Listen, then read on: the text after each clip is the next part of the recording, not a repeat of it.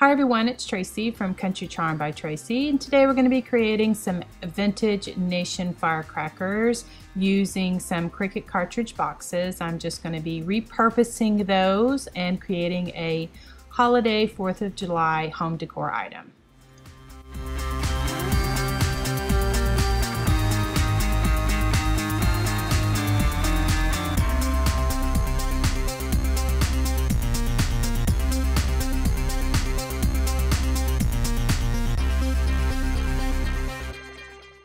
Okay, the supplies that I used is the scrapbook paper is Vintage Nation from uh, the Paper Studio, which I picked up over at Hobby Lobby. It has some really cool um, subdued colors in this pack.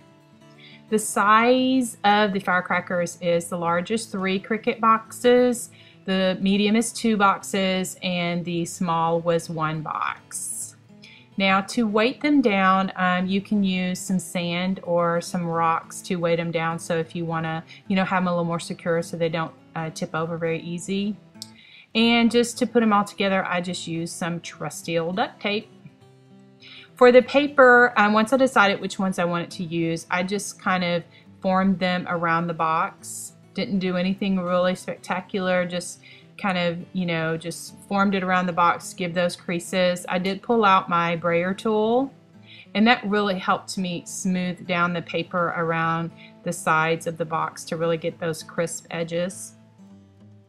And then I just mixed and matched some of the papers just to kind of give it um, a different look.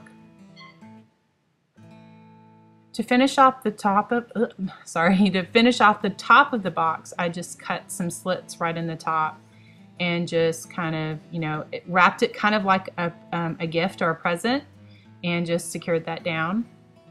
For the top of the box, for the wick of the um, firecracker, I just used some jute rope and I just tied a knot in it and I just hot glued that to each, uh, just to the top of each of the firecrackers. And to give it a more primitive country look, which I like, um, I just tied some burlap ribbon around the middle of each of the firecrackers.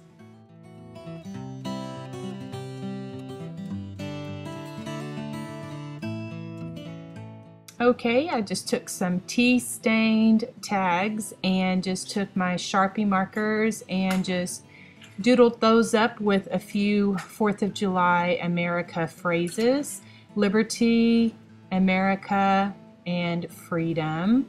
And just using some thin jute, I just tied it on, um, just attached it to the burlap ribbon just like that. So thanks so much for watching everyone. I hope you've enjoyed my Vintage Nation 4th of July firecrackers and uh, I'll be using these and enjoying them for years to come.